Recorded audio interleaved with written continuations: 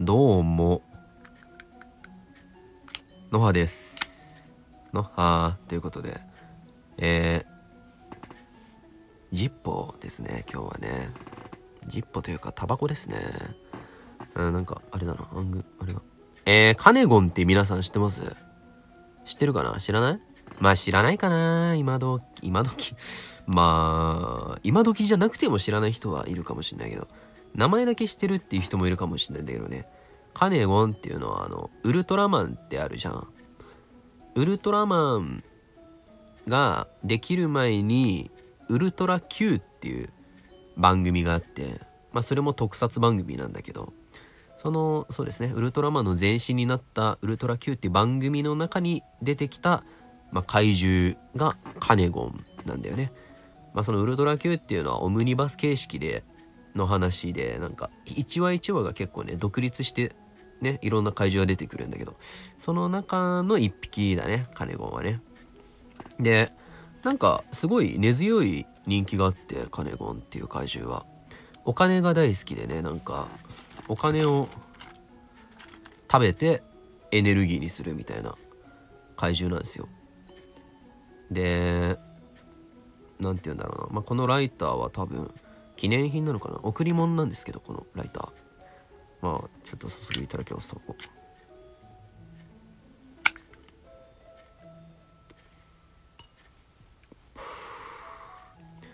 で、俺もね、あの、いつだったかな？中学生か高校生ぐらいの時にね、ウルトラ Q のね、DVD を全部借りて一気に見たんだけど、結構ね、このカネゴンの話は特殊で、すごいな、カネ、カネゴンの話をするかになっちゃうの、これどっちかっていうと。なんか、まあ、まずは聞いてくれや。あの、ウルトラ Q には、主人公が3人いて、なんか男の人2人と、あと女の人1人。この3人が基本なんか、組んで、なんかいろんな事件解決していくみたいな流れが基本なんだけど、このカネゴンの話にだけは、その3人が出てこないんだよね。で、なんか少年が、少年の集団がなんか主役になってて、で、俺もちょっとうろ覚えだからあんま話の流れきちんと覚えてないんだけど、なんかその少年たちの集団の中の一人が、すごいお金が好きで、で、主戦度というかね、お金をすごい大事にする子で、なんだっけ、なんかいいろいろ、なんやかんやって、その少年が最終的にカネゴになっちゃったみたいな話だったんだよね。お金が大好きすぎて、お金が大好きな怪獣カネゴになったみたいな話ですごいなんか当時すごいびっくりしたというか、衝撃的だったね、俺も見て。主人公の3人出てこないは、なんか初めて見た少年が話の中に出てきて最終的に怪獣になるわみたいなすごい衝撃的な話だった覚えがあるね。カネゴンっていうのは。多分当時からすごい衝撃的だったのか未だにこうやってなんかライタージッポライターとしてねかたどられるぐらいにこうやって語り継がれている。今でも人気のある怪獣の一匹なんだよねカネゴンは。で俺もカネゴン自体すごい好きで昔ソフビ人形とか持ってたぐらいだったからそれこれいただけた時はすごい嬉しかったな。ウルトラ Q の。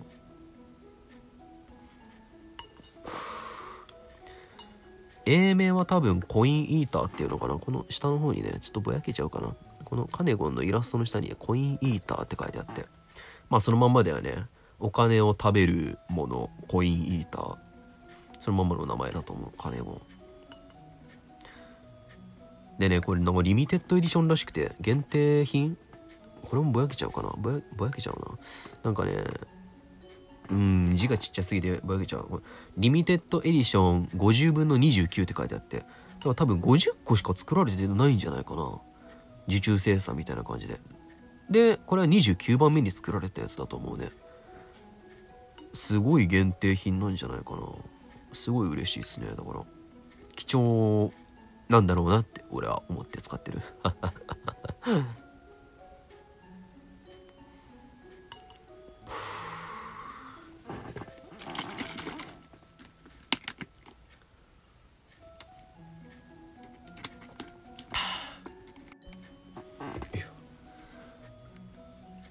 で、ちょっとびっくりしたのが、俺が個人的にびっくりしたのが、このカネゴンの話、カネゴンの眉っていうタイトルの話なんだけど、多分ね、放送日みたいなのが書いてあって、当時の。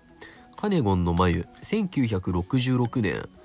エイプリルテンスだから4月10日だよね、これ。4月10日ってこの俺の誕生日なんだよね。まあ俺が全然生まれる前の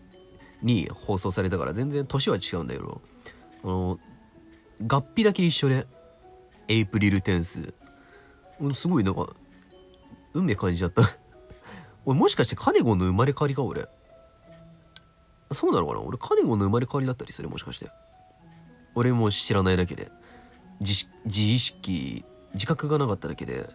もしかしたら俺もそのうちお金大好きすぎて、こういうカネゴンの状態になる可能性は、なきにしもあらずなのかもしれないね。へえ。可愛いよね、カネゴン。カネゴンって可愛いんですよ。なんか裏のこのデフォルメされたカネゴンも可愛くないですか？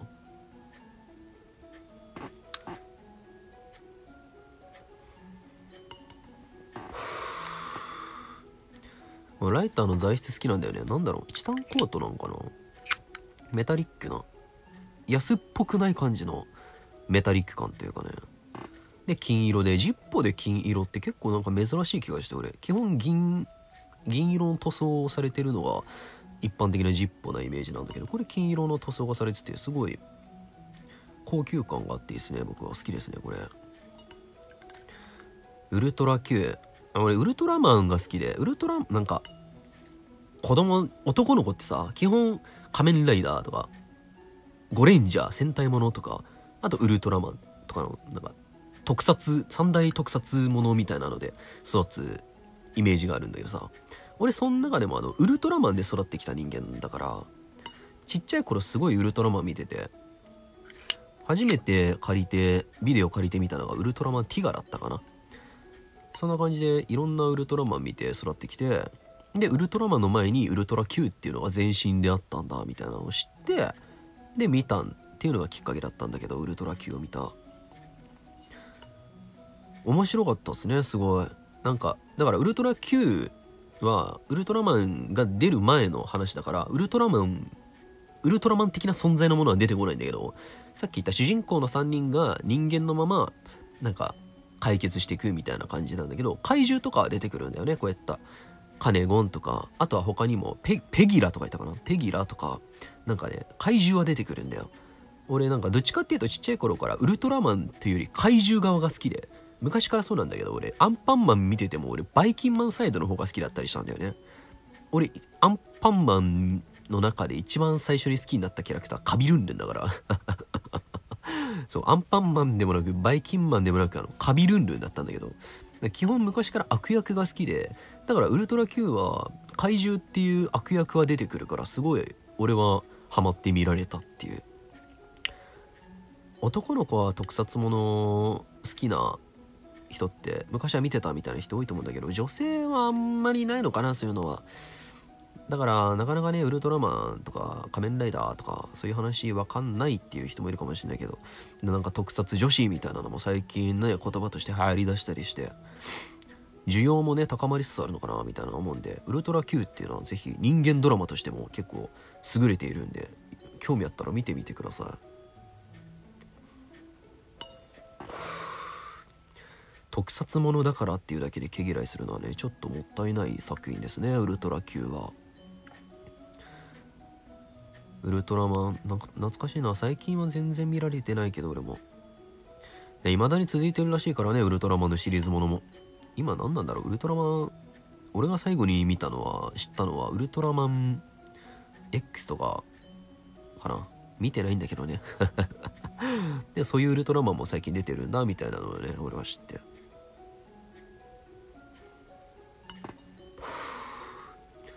今の子供はそういうの見て育ってるんだなってちょっと感慨深くなった気持ちはありますね。うん。俺も子供ができたら見せんのかなウルトラマンとか。子供ができんのかなそもそも。